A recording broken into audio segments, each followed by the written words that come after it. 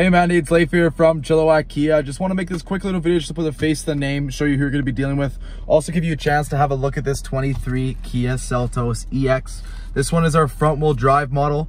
Uh, we don't have an all wheel drive model right now or else I wish I would show you that, but I cannot at the moment. It's not here yet, but it will be arriving soon but I just want to give you a good idea of what it kind of looks like. This one is our silver color, so it's going to be a bit darker of a color of the one that you're going to be getting. Um, but as you can tell at the front, LED lights the front. Everything on the exterior will be the same, just besides the color. Um, and then this one is the front wheel drive model. So the only thing that's missing is the sunroof you're gonna get. And also you're gonna get a wireless charger that's gonna be located just right there on this pad.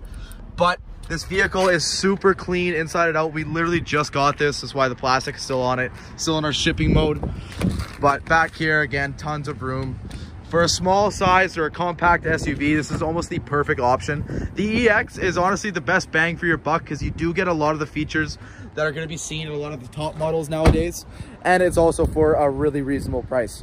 But let me know what you think of this unit. If you want to lock down this one instead, you're more than welcome to. But I know you're in Prince George, so the all-wheel drive is also a must or almost a must, sorry. But let me know what you think of this video. Anyways, Mandy, I also got the numbers for you, so just let me know what I call you so I can let you know the numbers and everything.